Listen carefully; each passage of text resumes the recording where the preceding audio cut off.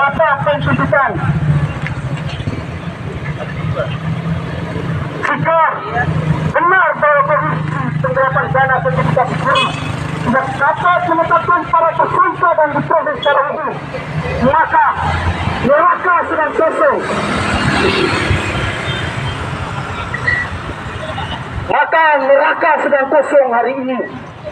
dan semua setan dan penjahat sedang berkeliaran dan menduduki tubuh birokrasi di Kabupaten Sika hari ini termasuk di dalam tubuh aparat penegak hukum sendiri. Oleh itu, berdasarkan duduk perkara di atas, maka dengan ini kami Perhimpunan Mahasiswa Katolik Republik Indonesia Sabang Maumere Santo Thomas Morus